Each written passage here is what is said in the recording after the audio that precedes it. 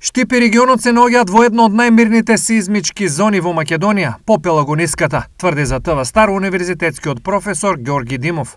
Согласно последното сизмичко зонирање од пред десетина години, Штип е ставен во зона 2 во мирна зона. Од геотекновски аспект имаме српско-македонска маса каде што сме ние и некако таа е најстара, најкартонизирана и најстабилна и тука имаме најмалку земјотреси.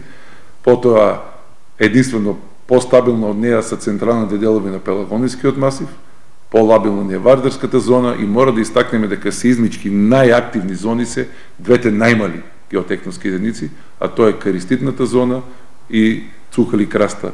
Значи кариститната зона го офаќа Делчевскиот регион, а Цухали Краста Дебрско-Окритскиот регион.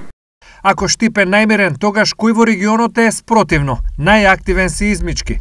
Најнемерен дел од регионот се Тоа се три зони или три региона. Зоната на Скопје, на градот Скопје, зоната на Делчево и зоната на Дебар Охрид. Значи тоа се трите по најновата реализација означени зона 5 со највисока сеизмичка сеизмичка активност. Во однос на можноста дали е можен пренос на деструктивната енергија од катастрофалните земјотреси што деновиве ја погодија Турција, Димов состав. А, колку тие колку енергија се губи, е прашање. Разбирате? Македонија е изградена од огромен број на различни геолошки средини.